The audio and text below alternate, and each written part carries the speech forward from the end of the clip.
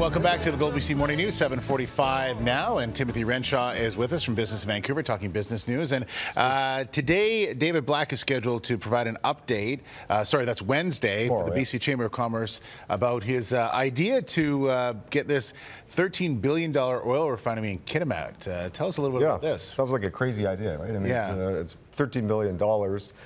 He's a newspaper guy. Why would he be involved in something like this? Yeah. So, um, part of it is money. You know, there's money to be, to be made from it. But also, when he's not buying and selling newspapers, David is a uh, he's a, a sailor. Right. He's uh, he has a real uh, affection for the coast and its beauty, and uh, he he thinks and believes that um, you know a, a refinery would be far less uh, impactful on the uh, environment than um, than a, you know shipping crude.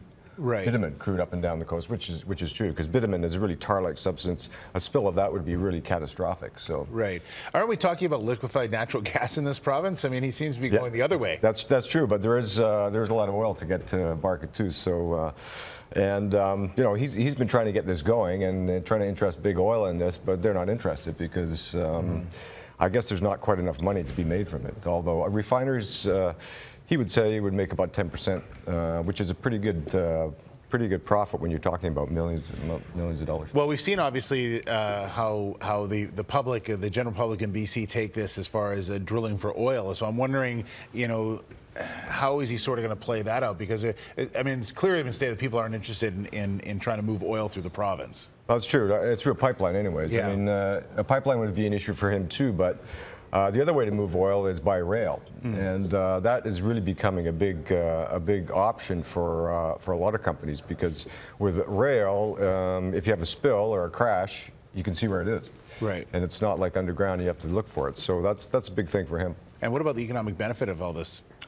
There's huge uh, upside to it. Uh, I mean, there's there's uh, 6,000 construction jobs, probably 3,000 uh, permanent jobs from it, and plus, as he says, 10% of uh, however much he uh, he sells to the wider world. So, and uh, that's one of his issues too, is to find market for for the for the uh, refined product. But um, he says he's getting that under control. So. All right. Well, we'll see what happens. It'll be interesting to get the update uh, tomorrow. That's for Yeah. sure. All right, Timothy. Thanks you. very much. If you want some more information, you can reach uh, Timothy at biv.com for more details.